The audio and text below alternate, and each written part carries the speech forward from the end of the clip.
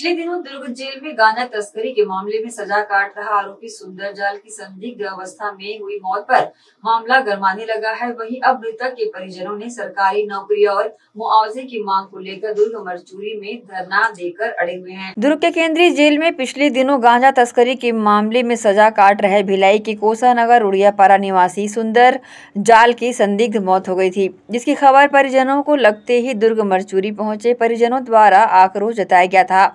आप लोग एकदम उम्र वाले कौन पालेगा वही पालता था सर बीस तारीख को निकलेगा बोले थे तीस तारीख को इसके लिए जो जेल में दोषी है उन पर हम कार्रवाई की मांग कर रहे हैं। नहीं तो हम तो मांग कर रहे हैं ना सर कल घटना हुई है इसके बाद जेल प्रशासन ने उसे पीएम के लिए दुर्ग मर्चूरी भेज दिया और परिजनों को उसकी मौत की सूचना दी।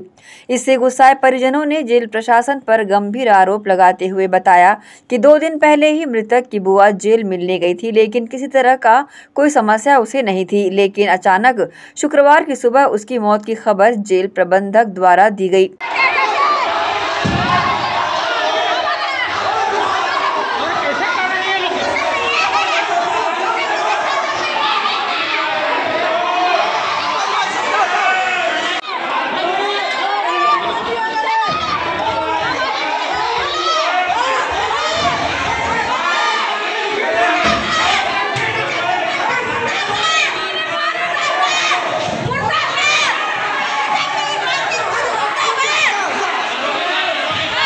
इस दौरान दुर्ग मरचूरी में गुस्साए भीड़ ने पुलिस आरक्षक के आड़े हाथ लेते हुए मरचूरी का दरवाज़ा भी खोल दिया।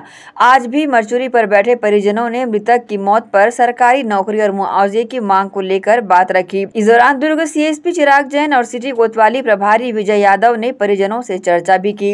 इस दौरान प्रदेश महामंत्री जयप्रकाश यादव ने भी परिजनों को मुआवजा दिए जाने की मांग करते हुए भाजपा सरकार भाजपा सरकार की छवि खराब करने वालों पर कार्रवाई की मांग की।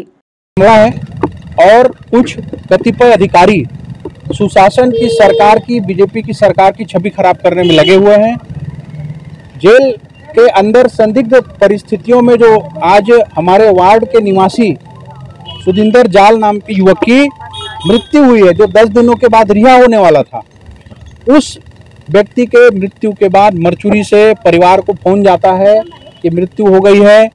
परिजन आते हैं, चोट के निशान चेहरे पर देखते हैं, बिफर पड़ते हैं, उसके बाद से हम सब यहाँ डटे हैं।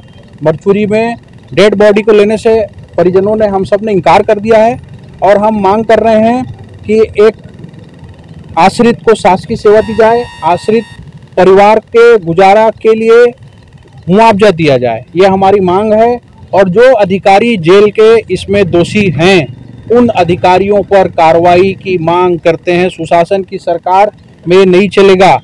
दोषी अधिकारियों को नहीं बख्शा जाएगा। ये हमारी मांग है।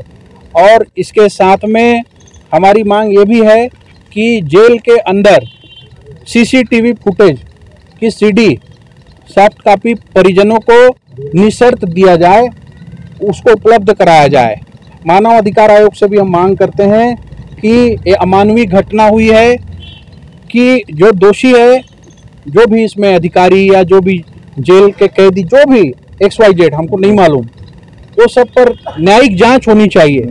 और न्यायिक जाँच होनी चाहिए, मजिस्ट्रियल जाँच होनी चाहिए, और जो भी इसमें लिप्त हैं, उनको सीधा सलाखों के पीछे भेजा जाना चाहिए। कड़ी से कड़ी कार्रवाई की मांग हम करते हैं। एसीएन न्यूज़ के लिए दुर्ग से नसीम फारूकी की रिपोर्ट।